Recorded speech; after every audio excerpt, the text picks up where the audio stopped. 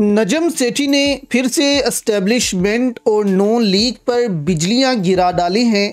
کل S I F C کا اجلاس تھا۔ اس میں شہباز شریف نے کافی بھڑکے ماری ہیں کہ کشکول توڑ دیا۔ معیشت اوپر جا رہی ہے، یہ ہو رہا ہے، وہ ہو رہا ہے۔ لیکن اصل میں جو رپورٹ سامنے آ رہی ہیں، وہ یہ بتا رہی ہیں کہ زیرو بٹا زیرو سرمایہ کاری آئی ہے ایس آئی ایف سی میں۔ جبکہ جب سے یہ ادارہ بنا ہے، تب سے سرمایہ کاری میں اور زیادہ کمی آ گئی ہے۔ اور پچاس سال کی تاریخ میں جتنی سرمایہ کاری ہے، اس سے بھی نیچے چلی گئی ہے۔ اب اپنے بیان میں نجم سیٹھی نے اشاروں اشاروں میں اسٹیبلشمنٹ کو بڑا پیغام دے ڈالا ہے، جس سے نون لیگ بہت پریشانی کا شکار ہے۔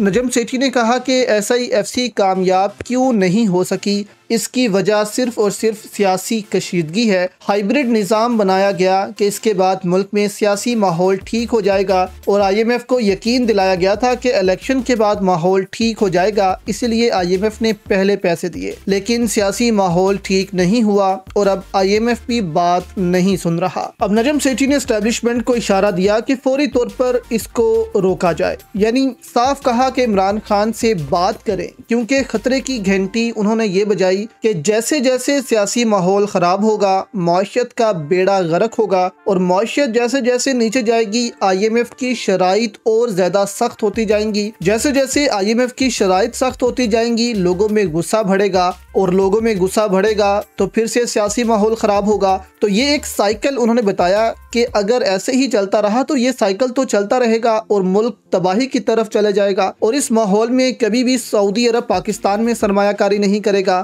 تو نجم سیٹھی نے اشارہ یہ دیا ہے کہ اس سیاسی ماحول کو ٹھیک کریں۔ اب یہ چیز نون لیگ کو پسند نہیں آ رہی، کیونکہ نجم سیٹھی ان کا اپنا بندہ ہے۔ وہ بھی اب کہہ رہا ہے کہ صرف ایک راستہ ہے بات چیت کی جائے، اس ماحول کو ٹھیک کیا جائے۔ اور اسی کے تحت آپ آنے والے دنوں میں دیکھیں گے کہ عمران خان کو ریلیف ملے گا اور عمران خان جیل سے باہر ہوں گے۔ پھر سیاسی ماحول کم ہوگا، جس سے کچھ نہ کچھ معاشت پر بھی اثر پڑے گا اور سعودی عرب بھی جب یہ دیکھے گا کہ عمران خان کو ریلیف دیا گیا ہے، تو پھر سعودی عرب بھی پاکستان میں سرمایہ کاری کرنے کو تیار ہو جائے گا۔ اور ممکن ہے کہ عمران خان کے صرف جیل سے نکلنے پر ہی سعودی عرب سرمایہ کاری کا اعلان کر دے، جو اس وقت کر نہیں رہا۔ آپ کس پر دوستو، کیا رائے ہے؟ ہمیں نیچے کومنٹس میں اپنی رائے بھی ضرور دیجیے گا۔